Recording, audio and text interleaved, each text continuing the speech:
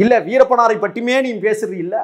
அதில் வர்ற வருமானத்துல அந்த குடும்பத்துக்கு கொடு. நான் தான் திருநாய் எனக்கிட்ட காசு இல்லை. நீ தான் நல்லா சம்பாதிக்கிறீல்ல வீரப்பனாரை மட்டுமே பேசி சம்பாதிக்கிறீல்ல அந்த காசு அந்த குடும்பத்துக்கு கொடுத்து உதவுனா அந்த குடும்பம் கொஞ்சம் நல்லா இருக்கும்ல? சோறு திங்கும்ல?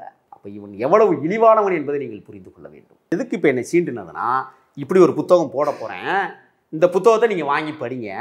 அதில் நிறைய உண்மைகள் இருக்குது எந்த மக்களுக்கு வீடு கட்டி கொடுத்தார்? அங்கே இருக்கிற லம்பாடி மக்களுக்கு வீடு கட்டி கொடுத்தானா? தாழ்த்தப்படுத்தப்பட்ட மக்களுக்கு வீடு கட்டி கொடுத்தானா?